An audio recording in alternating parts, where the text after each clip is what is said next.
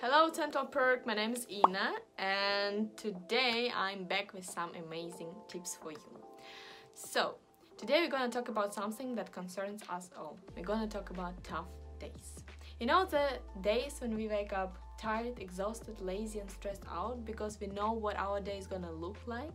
we know that um, we have to go to school. We need to go to work. We need uh, to do household stuff. We need to do homework call some someone meet someone go somewhere and then we just go crazy and get lazy from the morning on and our body thinks hell no i'm not gonna get out of this bed yeah?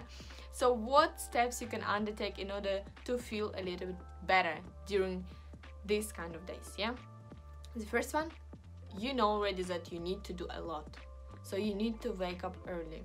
I don't mean 4 or 5 a.m., but I do mean 7, max 8 a.m. Yeah? In order to stay energized during the day, you need to get your hours of sleep. Therefore, you need to make sure that you go a little bit early to bed a day before. Yeah? This is the first step. The second step is having a breakfast somewhere else. Yeah, I don't mean having breakfast at home, but I literally do mean go grab a coffee and have a breakfast in a cafe.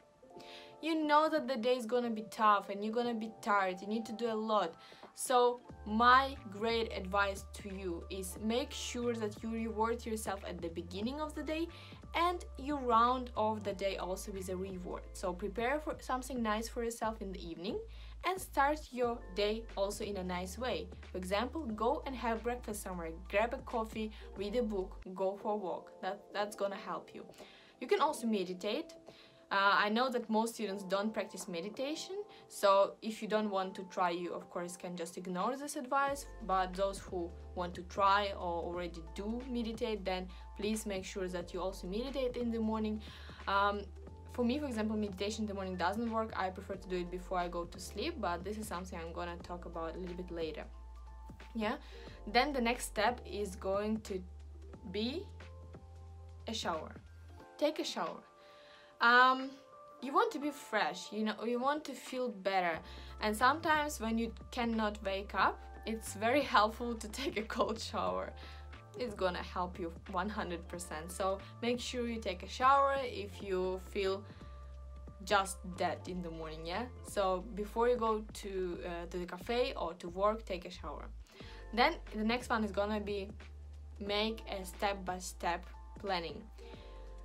You need to do a bunch of stuff during the day and then you don't know what you should start with because it's just too much so you need to organize a little bit your day and also uh, your mind. So for that purpose, you need to take a list, a pen, uh, take 20 minutes of your time and just plan everything. What's gonna be your first step? What are you gonna do first in the morning?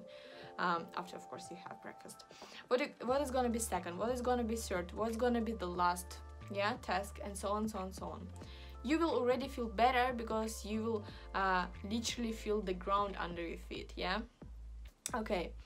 Um, then don't then don't forget to take breaks it's very important that you take breaks uh, in the morning you can work for hour two hours without even breaks it's fine but uh, in the evening it's gonna be already challenging so try to take uh, breaks every 45 minutes that's what's gonna work the best for you.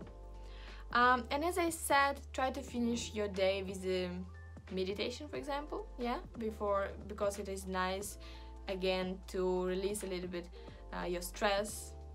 And also don't forget to reward yourself yeah. As i said the greatest advice for you when you have a tough day is to start with a reward and to finish the day with a reward the reward can be anything. You can go to the restaurant. Okay no that's maybe too much but of course why not if you feel like.